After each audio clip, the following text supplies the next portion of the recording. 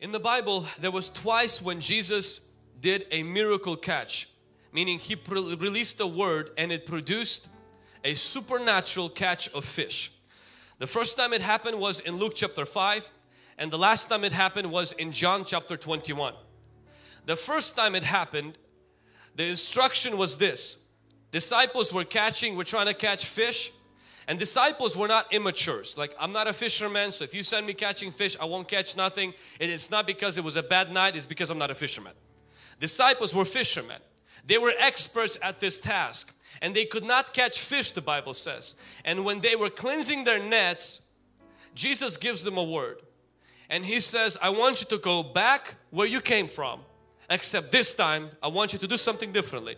I want you to launch into the deep. And I believe the first key to supernatural momentum. Because see there's something where we, we work we do our best.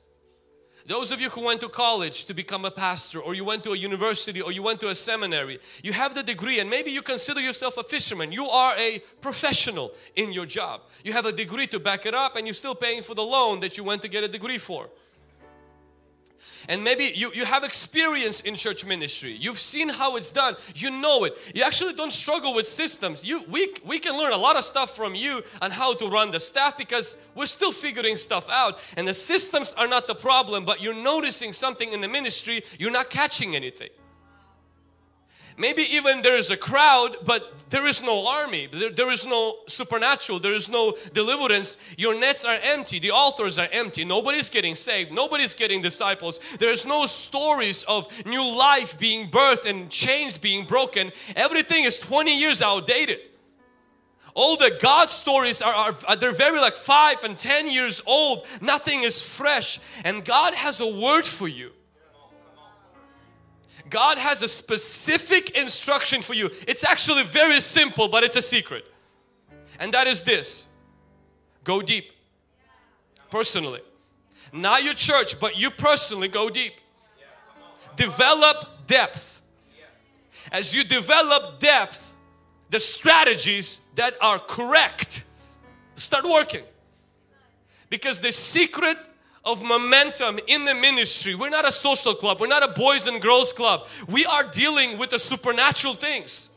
We are spiritual in nature as a ministry. We're trying to rescue people from darkness into light. We have an agenda of hell at our tail trying to stop what we're doing. So we're not just spreading cookies and recruiting people into a religion. We're not just trying to run a YouTube channel or a Facebook channel. We're actually rescuing people from the gates of hell, from the power of hell into the power of light. Come on, somebody. And because of that, Jesus says, I will build my church and the gates of hell will not prevail against it. And so for Jesus to build it, that means I have to develop my own personal depth in my relationship with God. And so that was the first time that Jesus did this supernatural miracle is he told them to go deep. Now the last miracle and we're going to try to talk a little bit about that tomorrow. In John 21, he didn't tell them to go deep. They were already deep. He told them to throw the nets on the other side. That's doing something differently. Your relationship with God might not be the problem because there are people here today, you fast so much, you pray so much, there is a depth, there's an anointing that's upon your life, but the church is small. But people aren't getting saved, and sometimes the problem is not the depth, sometimes the problem is the direction. Sometimes the problem is the nets have to go from one side to another. There's something has to change in the structure, in the system, in a process, in the way the church is done. Supernatural is not at war with the system. For those of us who are in love with the Holy Ghost and power of God and we're like, man, I don't need system, I just need God. Your body has 10 systems the way your body works was made by God supernaturally, yet it has 10 systems. God, the creator, the sovereign God, created a solar system. God is a systems God. The idea that revival will come in and break everything apart and explode everything now, that's good for one weekend. You can't sustain that. There has to be systems, there has to be structures, there has to be policies, there has to be bylaws, there has to be umbrellas, there has to be teams, there has to be small groups, there has to be pastoring. Otherwise, the explosion will hurt you, not help you. And it's just things have to change. I remember one of the things that when the depth, I felt like there was a depth that was handled in my personal life and I felt like okay you know what? I am where I'm supposed to be. And one of the most condemning or like criticizing comments I would get is when people would come to Hungry Gen and they would say man with what's happening? You guys should be having 5,000 people. Why is there 100 people here? I don't know. And I'm like man we need to pray more. But the other guys who see a greater breakthrough in salvation of people don't even pray one fourth of that. And I'm like, what's the problem? And sometimes the problem is not with your depth. Sometimes the problem is that you're fishing on the side where there is no fish. You just need to throw the net on the other side. I remember taking classes on how to break 200 in the church. And I'm thinking, listening to that, and I was like, that's so not spiritual. I was like, I don't need this. I just, the only thing I need is the anointing, more anointing, more anointing. And, and, and then I humble myself because it takes humility to realize that sometimes the depth is not the only thing that can give you a miracle catch. Sometimes there's a system that you're missing, a mindset that you need to embrace. And I remember taking the classes, uh, some guy in Canada, and pretty much he was saying that the reason why churches don't break 200, the big problem is the pastor. And I was like, this is definitely not from God. And he says, if you control everything, if you initiate everything, if you know everything, if you attend everything, you're the problem. He says, if you are the guy, you're the belly button, everything is through you, by you, and for you. Nothing happens without your permission. Nothing happens without your approval. It's like mom and pop shop. Like you know how to do everything. And so, and, and, this and this guy who's literally was pretty much teaching, and I felt like God was breaking the wineskins in my own heart. That the issue sometimes why people don't get saved, why growth doesn't happen, people don't get empowered, is not necessarily spiritual. It could be structural. And so, this is going to be the challenge part over the next few days, is to try to cater to two of these parts. Because there are some of you here today, you have really amazing systems, but there's no life there. And there are some people here today, you have amazing life, so much life that it's becoming weird. There's a difference between being wild and being weird. Wild is when people get saved. Wild is when people get delivered. Weird is when nobody wants to come because they're like, you know what, this is just, I mean, that's amazing, but this is just weird. Our desire is not to create a charismatic experience where people think it's weird, but we do want to keep a little bit of spice of wildness. Come on, somebody. Amen.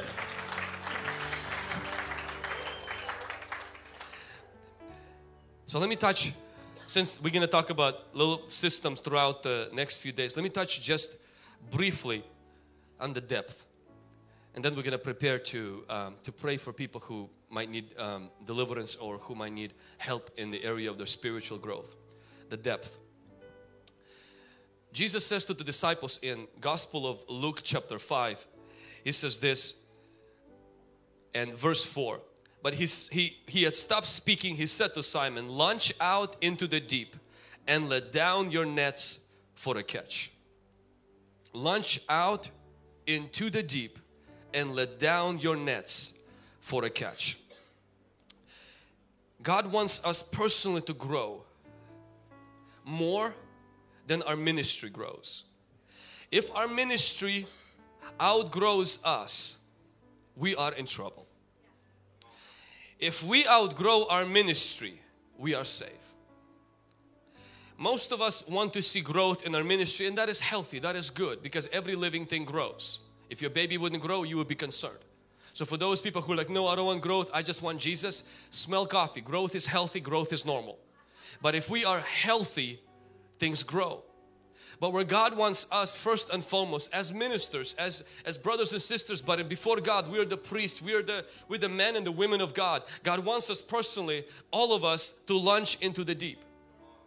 To launch into the deep personally and to launch into the deep privately, to launch into the deep in our secret place, to launch into the deep with our prayer life, to launch into the deep with our fasting life, to launch into the deep with our financial sacrifice life, to launch into the deep with our sowing, meaning what we're watching, what we are listening, that we launch into the deep. Sometimes the reason that there is no momentum, see momentum, I was reflecting this week as I was praying for all of us who will be here, and I was remembering how difficult it was in the beginning for our ministry. Not having momentum, another word for not having revival. I'm going to use the word momentum interchangeably with revival. It's that, it's the it factor. The it factor is like you don't know what it is, you just know when you have it and you know when you and when you know when you don't. And everybody in the church knows it. And you know it and you hate it. And sometimes there's nothing, it seems like there's nothing I can do. It's that when the, when the atmosphere or things just shift in the ministry and the wind instead of blowing in your face and you're, you know, one person came in and three left. You cast out, you know, one demon and it's just like, it seems like now you got those demons attacking you. It just seems like it's just causing more trouble and more suffering and more pain and there's just more pressure. Then you get sick and you're like, man, why am I even doing all of this and stuff? So do I, am I even called to do all of this? And it seems like I was toiling all night and I caught nothing. And that grind, that difficulty, that it, it's very challenging to be without momentum. At the age of 16 is when my uncle, who is my pastor, uh, put me to be a youth pastor. I was called, people say, you know, I got called by God. First I got called by my pastor. And then later on God called me. And from 16 till about 27, about 10 years, it was a grind. It was, it was challenging. I mean, we had less youth than half of this sanctuary side over here coming for about 10 years. And Bryson can testify because Bryson was here from the beginning. Bryson got saved at the age of 13 him and Brittany uh, were the only faithful ones that, that sticked around. And I think there's a special medal for them in heaven. Uh, not only they've seen the cultural problems in our church, family issues. I mean, it was just, you know, when the church is small, there's a lot of drama. A lot of pastors like, oh, our people are gossipers. No, it's just you're under 200. The moment you go over 200, no more drama. It's just, it's a miracle how it just disappears. And so, but all of those challenges were there. Everybody bickering, jealousy, and all of this stuff. And we were just a youth group. I had no theological education. I did not go to a Bible college to know how to lead a youth group that's my size, that they're my age. It was extremely difficult. And it's not that the passion was lacking. It's not the lack of illustration or lack of creativity. And for some people like they are bivocational. I was fortunate to be full-time in the ministry. And for those of you who think that that's going to be better, it's only better when the church is growing. The moment the church is not growing, you feel guilty. You feel like you took everybody's tithe and drained them down the toilet. And people on Sunday look at you and they're like, You're responsible for why there's no revival. We pay you. And if you feel that, you carry that pressure that most people don't realize that you have. And you know, but when the momentum shifts, when there comes a momentum, when there comes a wind that hits in your back instead of in your face, for us, there was many, many things that are behind the scenes that happen. But I will just highlight one. For me personally, there, there had to come a point where I want to see change went from I want to to I can't live without it. From God, I desire to see breakthrough at Hungry Gen to God, I am desperate and if you don't do it, I don't want to live. Not in a suicidal sense, but when that desperation hits hot in your heart. One of my idols was money. And it wasn't because I had a lot of it. It's because I didn't have a lot. And I was attached to it. And I felt like God was waiting to break that thing. To take me deeper. See, deeper is not always more prayer. Deeper is not always your understanding theologically what others don't or you can say something from the Old Testament and New Testament and phrase it in such a way that everybody says wow that's deep that's not what depth is deep is not being insightful or you can phrase your quotes that can fit into a Twitter tweet. That's not the depth. What I'm talking about about depth is that when you lose you because when you are on the shore you are in control because you're actually holding on to the ground. When you go into the depth few things happen is you actually lose control. To some degree, you surrender to the wave, you surrender to the water. And if you don't have a boat or you don't have anything, you can actually drown and die. Depth is scary, and the shore is safe. We like to criticize sometimes and say, oh, don't stay in the shallow. Actually, shallow is safe. Shallow is not risky. Shallow doesn't get you criticized. Shallow does people don't think of you as crazy. People don't talk about you when you're in the shallow because you're balanced, because you're calculated, and because you're wise.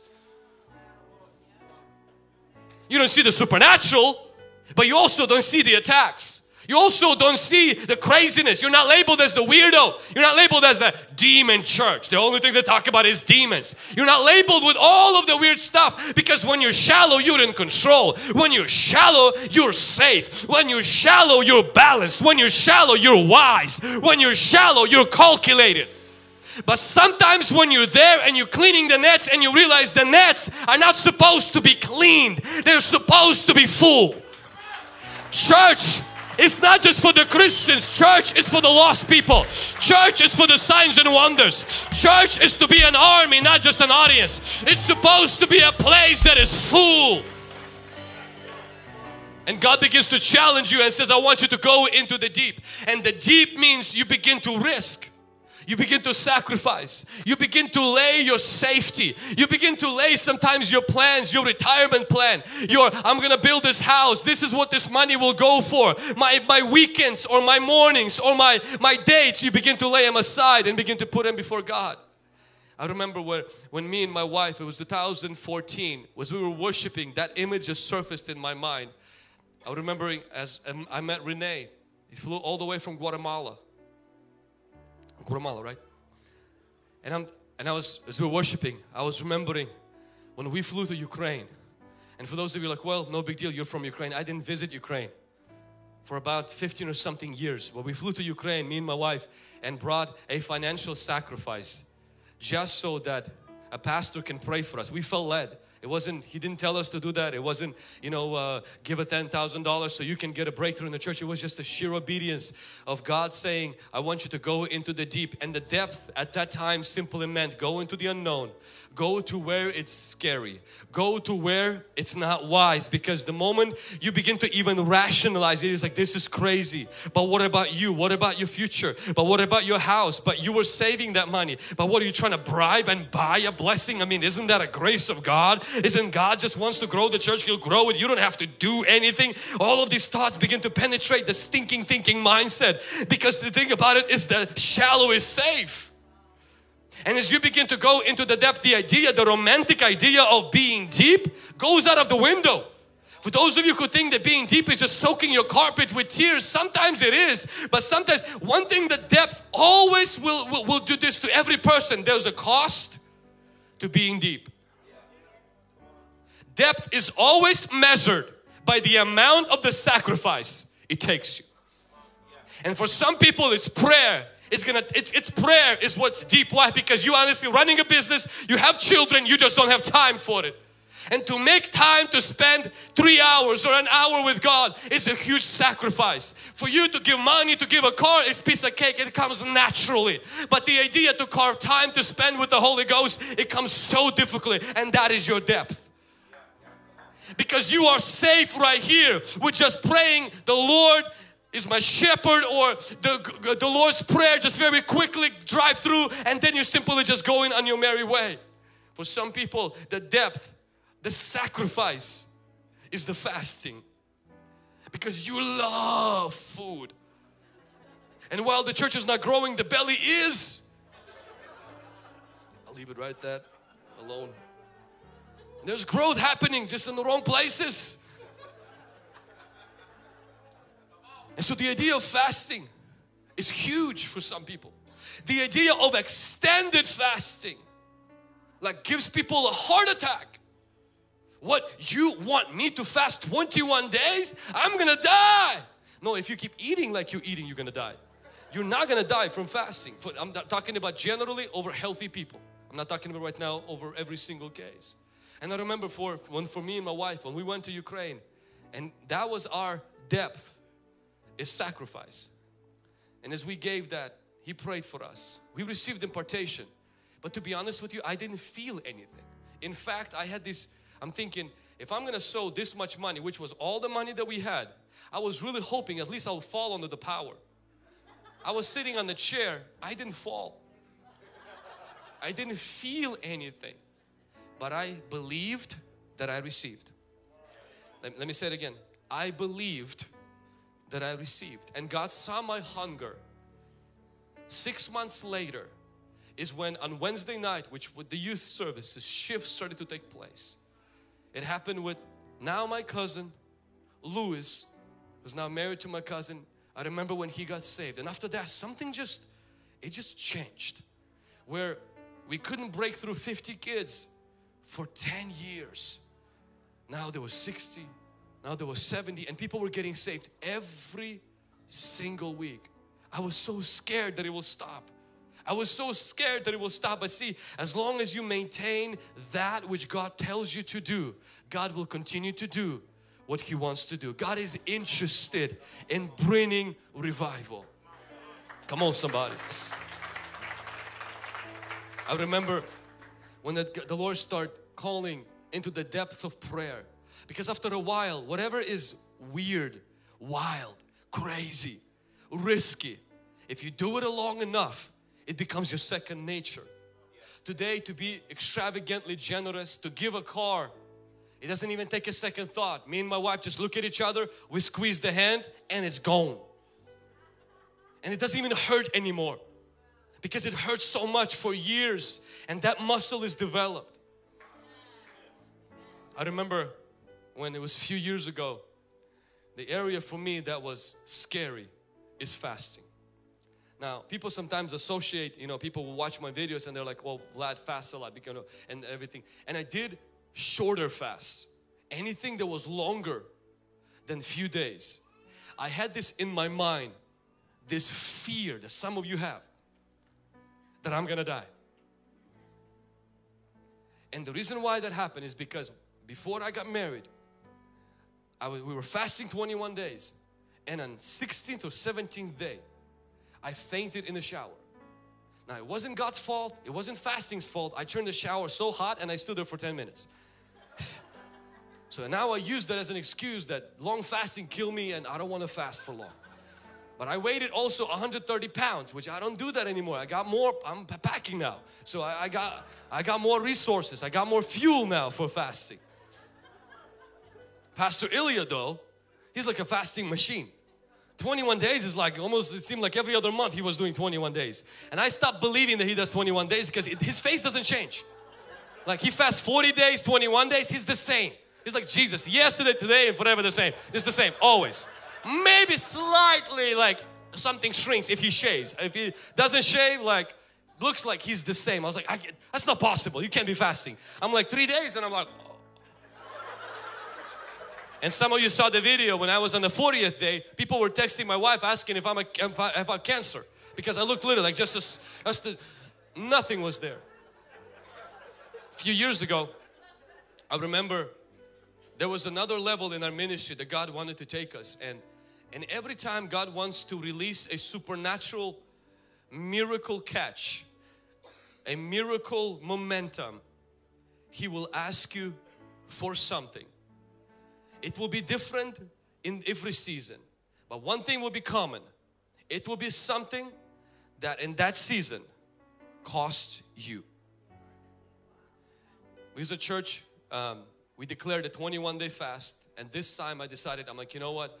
I'm gonna do it. And I'm, I'm really, to be honest, I, I, was more motivated by Ilya. I'm like, if he can do it, I can do it. And so, and we were at the uh, Pastor um, David Diga Hernandez's conference in California, and Pastor Benny was speaking on Saturday night, and uh, I spoke on Saturday morning, and it was already sixth day, I think, sixth day of fasting, and I have this fear of an extended fasting. We're on the sixth day, and you know the idea of even going 21 days I'm like there's just no way I can make it. God give me strength. God give me strength. The presence of God was really powerful and sometimes God will speak to you when you're in his presence. And I remember I got on my knees and just just really just a tangible awareness of God's presence. And I hear this thing from from the Holy Spirit inside of my spirit. Not in my head but inside of my spirit. That Jesus was 30 before he launched his ministry he fasted 40 days. You're more than 30, you already launched your ministry and you didn't do it the Jesus way, I'm giving you grace 40 days. And I didn't even have time to be scared. I didn't even have time to process all of that. And I remember I just, because you know, uh, God sometimes bribes us like that in His presence, like He pretty much downloads anything and you believe in it because His presence is there like, yes God, I'm gonna die for you. They're like, what, what did I just say? What did I just promise? And I remember I get up and I'm like, I'm just literally, presence of God is just so over me. And I remember I tell my wife, I'm like, babe, I'm gonna go for 40. He says, 40 what? And I said, you know I'm gonna go for 40. And she's like, you sure? But my eyes were like blazing with fire. She's like, okay. And honestly, it was the grace of God. There was something else released. I felt even in my ministry, in the VSM, that started to shift. The depth is not the amount of prayer. It's not the amount of fasting. All of those things a lot of times are an expression. It's not the amount of money that we give. It's not the amount of suffering that we, we endure. It's that in that season, whatever He says we do, what it does is it humbles us. What it does, because when you go deep, you go low. It strips us of that. But I want to challenge every pastor in here. These three things, they have to be dear to your heart. Prayer, fasting and sacrifice. Prayer helps you to defeat pride. Fasting helps you to defeat lust. And sacrifice helps you to defeat greed. The reason why people don't pray is not because they're busy, it's because they're proud. It's because they're not willing to get down and they still can do things without God. People sometimes say things like, well, you know, you don't understand Vlad, I have children and maybe I don't understand that part, but I do understand when one of your child gets in trouble, you will pray. When priorities change, something happens, passion rises up again. And God wants to kindle inside of us a desire today. God wants to whet your appetite that you go deep. For those of you who have systems, for those of you you have a degree, you have an education, you have a you went to a seminary and maybe you're looking at yourself like Peter and you're like, "Man, I'm a fisherman. This is supposed to work. It works for other churches. It works for other people." And you may say, "But you know what? I pray I fast, but I want to ask you a question. Are you going deep? Or you found your comfortable level where you can still keep a control? Maybe you're waist deep, but you're still in control. Go as far as He tells you to go until you realize, God, I am no longer in the safe ground. I am now in the ground of the supernatural. I am now in the place where I trust in you to move. God, I believe in your supernatural shift that will happen in my life and in my ministry.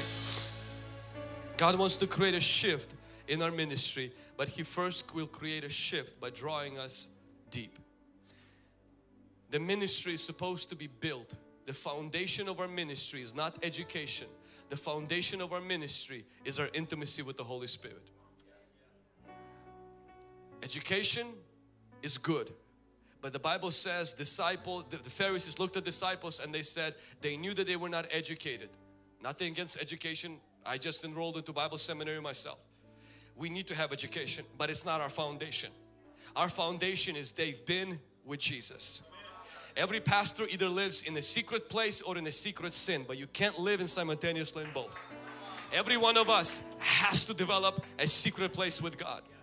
Achan was a man who was fighting and was winning supernaturally in the city of Jericho. God supernaturally brought the walls. But something that Achan did is he took of the forbidden things and he put it inside of his tent and he hid them in his tent. At the same city where Achan took the forbidden, there was a woman named Rahab. She was a prostitute, but she took something that was forbidden in her city, the spies, and she hid them as well. Both people were hiding. And in few moments, because Rahab hid the spies, her life was changed. In few moments, because Achan, he hid the forbidden, his life was also changed. My question to you as a pastor, my question to me as a leader today, what am I hiding?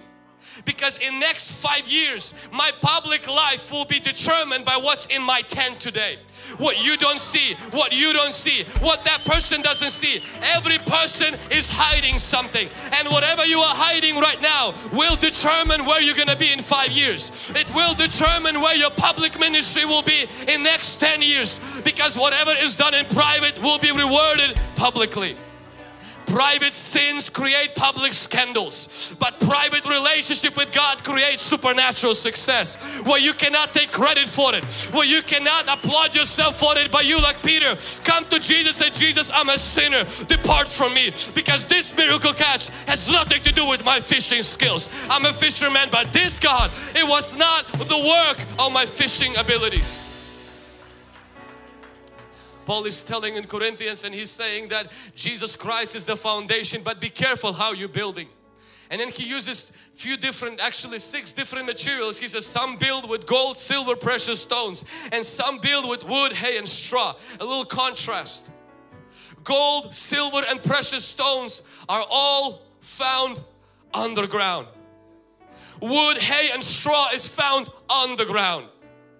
Gold, silver and precious stones are always in small quantities. Wood, hay and straw is always in large quantities. Gold, silver and precious stones are expensive. And for those of you who are married to a wife that likes a bling and bling, you know it's expensive. The tiny little thing is like $10,000. But a piece of plywood, a piece of 2 by 4 is not. It's cheap. But there's one difference between the gold, silver, precious stones and the wood, hay and straw. Put gold, silver, precious stones through fire and they become more expensive.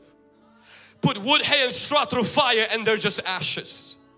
Anytime our ministries are built only on publicity or what God does through us instead of what He does in us, all it takes is a fire and all of that is gone.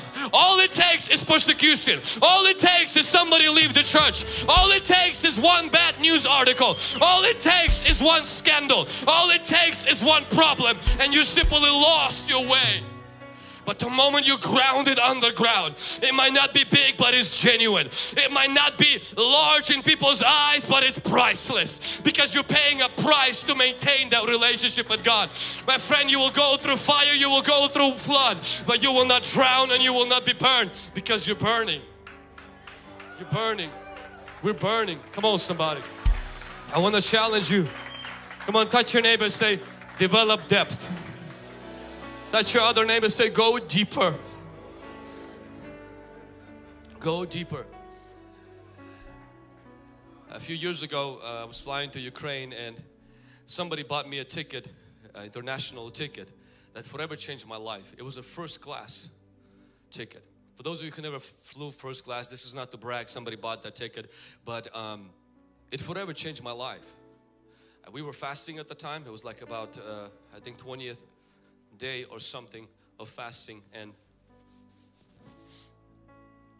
my wife was sitting next to me and they were bringing these like ceramic silverware uh, ceramic plates and silverware coffee everything. So we're fast I'm fasting. My wife she's uh she was feasting. It has a bed. It has a bed there. I'm thinking all my life I flew on 56th row by the bathroom and three crying children. I did not know that in the same airplane with the same pilot you can have heaven on earth. Do you know the difference between the first class and the 56th row by the bathroom? There's just only one difference. It has nothing to do with the color of your, color of your skin. It has nothing to do with your race. It has nothing to do with your gender. There's just one difference is the price the person is willing to pay. Life on this side of eternity, we're all going to the same destination, but different of us are in a different depth. And that is only determined not by God, by the price you and I are willing to pay. He paid for us to be on the plane. You pay to be on the type of a seat on that plane. You can live a shallow or you can live in the depth. The question is not today I'm going to go write a check and empty my bank account. The deal today is not I'm going to go fast 40 days. The deal today is this. What does He tell you to do? Are you living a life of prayer? Are you living a life of fasting? Are you living a life of sacrifice? And then there are moments as we're living that life that He touches a particular area of our life that it has to go on the altar. And this is where He's He's not asking you to lose because He's worthy of everything you're afraid of losing. He's inviting you to the depth where He says, I, am afraid Lord because I'm going to lose control. He says that's exactly where the water is going to hold you. You're leaving the safety because you're stepping into the supernatural. You're stepping into the shift. Amen. As we come ready for prayer right now. In Judges chapter 16 in verse 21 it says then Philistines took him and put his eyes and brought him down to Gaza and they bound him with bronze feathers and he became a grinder in the prison. However the word that I want to prepare us for the prayer right now is that Samson had the anointing he had the relationship not sure how deep that relationship was but there was an anointing functioning in his life he was compromising, he was sinning and because of that the Bible says that Philistines eventually captured him. And few things happened to Samson. One is he was bound, he was blind and he was bald. He was bald and then he was busy grinding meaning he was busy going in circles. So he was bound he was blind. He had no hair, he was bald and he was busy. All while he is doing this, blind, bound, bald and busy, God still had a plan for his life. God still had a purpose for his life and, and God still had that point where he will destroy the Philistines princes. And maybe you're here today and you've been fishing all night and you feel like you caught nothing. But I'm going to ask you right now, the Lord is calling you to go deep. Lord is calling you to stir yourself up. You might say, but Vlad, I don't feel like praying. Desire for prayer comes from praying.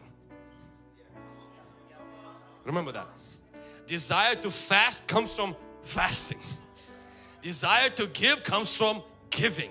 You don't get the desire and then do it. You do it and then the desire catches up. Because there's a flesh that will always fight. So you just gotta do it. And when you do it, the desire kicks in. Oh, but I'm distracted. But you know, I, I know I'm a pastor, but I just cannot break through. Just linger a little bit longer.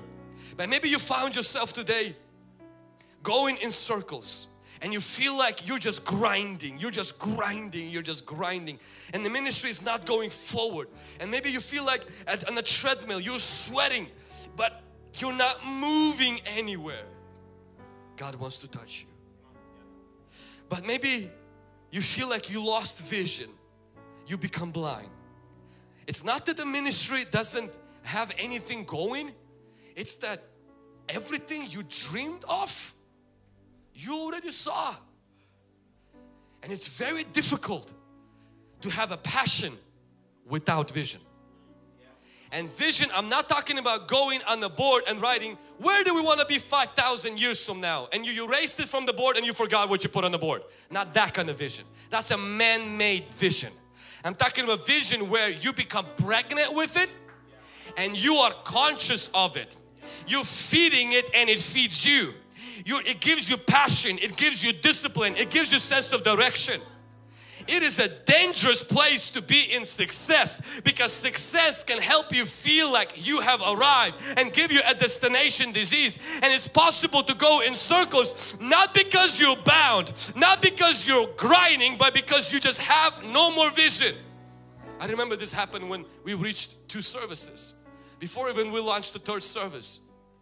That was my state. One of the reasons I was not excited about church anymore. I was doing church. I loved the church, but I wasn't excited. Partially it's because it's been my dream to see this sanctuary filled and on Sunday it was filled twice. I mean, forgive me for dreaming too small, but I'm a little kid from Ukraine. I was afraid to stand in front of people. This is a big deal. And I felt like I had not, nothing else for the future. Until we get a new building, then I'm gonna ask God for a new dream. And I remember it was a three day fast and it was right here. I felt like the Holy Spirit, He touched me in a fresh way like He did before we had the sanctuary filled. And I saw number a thousand. I wasn't thinking about a thousand people and it's like almost this like pregnancy, spiritual pregnancy. Please understand what I mean by that. I don't mean like physical pregnancy, but like spiritual pregnancy. I became a possessor of the thing. It arrested me. After that, I was excited for the future of the church. I was burning with the future of the church to the point that I stopped traveling. I said, I don't want to travel. Why? Because I'm excited for where God is going to go. I'm excited for third service. I will be excited for the fourth service if that's what's going to be the need. Why? Because when you have a vision, you get passion. And when you get a vision, you get discipline. And some people they're grinding because they're just busy, busy, busy. But some people are blind. They just don't have a vision and it's not your fault. But God wants to plant a vision inside of your spirit this week. Come on somebody. But there are people here today and you are bald. Meaning your devotional life got shaved off. So did the anointing. And you honestly feel like there is no more power in the ministry. I want to remind you, if you take practical steps to draw near to God, the Bible says, however the hair started to grow, you will notice you will get your passion back you will get your desire for God back. You will get your fire back. It will not be, it will be as slow as the growth of your hair, but it will be sure. And in a few months, if you do small little disciplines of waking up earlier and praying or staying up later and praying, and if you begin to fast and you begin to put some money aside and give to the missions or so, and you begin to watch, watch what you watch. Instead of Netflix, you begin to feed yourself with spiritual things. You will begin to notice that the hair will begin to grow, your passion for God and the anointing will begin to increase in your life. And listen, your hair will grow back. Your first love for God will come back. Your love for Jesus will come back. Your love for the church will come back. Your love for the ministry will come back. Your desire will come back. Your hair will grow back. Come on somebody. But there's one more thing. Not only he was bald, not only he was busy grinding and not only he was blind. But this is the part that now we're coming into is that he was bound. He, he was bound because whatever he flirted with, when he was strong, to manage took hold of him. That's one thing about us as leaders is we are a lot of times too self-confident dealing with sin. We can counsel somebody else we can tell somebody else of how dangerous it is but we all could sometimes allow little pet sins in our life and maybe it's not an open door from the occult through the legal right but perhaps it was just playing with Delilah so long and saying you know what? I got this. I'm managing this. I'm managing anger. I'm managing depression. I got the pills for it. I'm managing this pornography. It's not like as it used to be. My wife knows it. My therapist knows it. And so because I'm managing it see God didn't call you to manage it. He calls you to master it. He calls you to defeat it he calls you to be free from it. He says separate yourself from those things. God didn't call you to flirt with Delilah. He called you to defeat Philistines. And Samson was successful at managing Delilah. He was successful at managing prostitutes. He was successful at sleeping and not losing it still until one day he did not even know he found himself bound.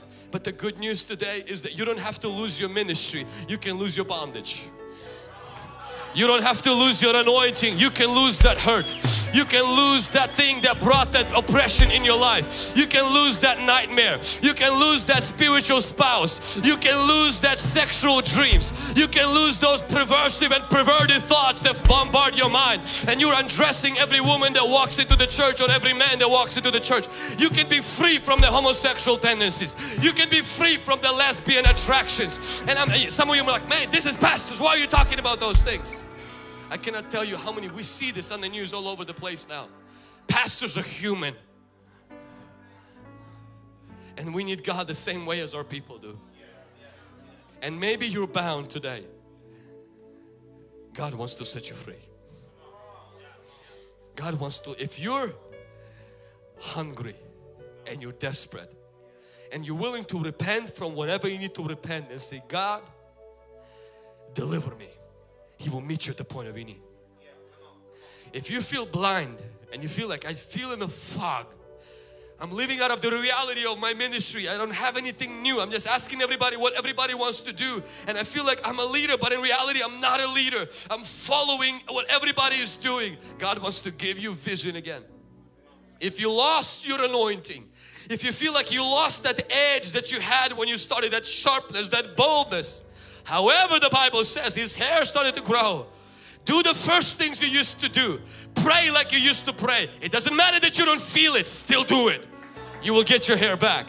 You will get your edge back. You will find that lost axe that fell into the river. You will recover that which you lost. But if you are here right now and you feel like you're just grinding, you feel like you're just going in circles, you're just going, it's the same thing and the same thing. I want to encourage you today to get in the presence of God and go deep. Do something that you've never done in pursuit of God and you will see God will spark something and get you out of that cycle.